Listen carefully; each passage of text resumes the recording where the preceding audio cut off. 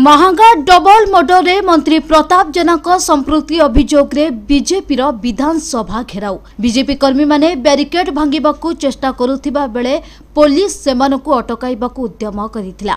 ଫଳରେ ପୋଲିସ ଓ ବିଜେପି କର୍ମୀଙ୍କ ମଧ୍ୟରେ ଧସ୍ତାଧସ୍ତି ହୋଇଥିଲା। ପୋଲିସ କିଛି ବିଜେପି କର୍ମୀଙ୍କୁ ଅଟକ ରଖିଥିବା ଜଣାପଡ଼ିଛି। ଆଇନମନ୍ତ୍ରୀ ପ୍ରତାପ ଜେନାଙ୍କୁ ସରକାର ଘଣ୍ଟ ଘୋଡ଼ାଉଛନ୍ତି। ତାଙ୍କ ନାମରେ ଅଭିଯୋଗ ଥିବା ସତ୍ତ୍ୱେ କ'ଣ ପାଇଁ ତାଙ୍କୁ ଗିରଫ କରାଯାଉନି ବୋଲି ବିଜେପି କର୍ମୀ ଦାବି କରିଛନ୍ତି। ଭୁବନେଶ୍ୱରରୁ ବିଶ୍ୱଜିତ ଦାସଙ୍କ ରିପୋର୍ଟ।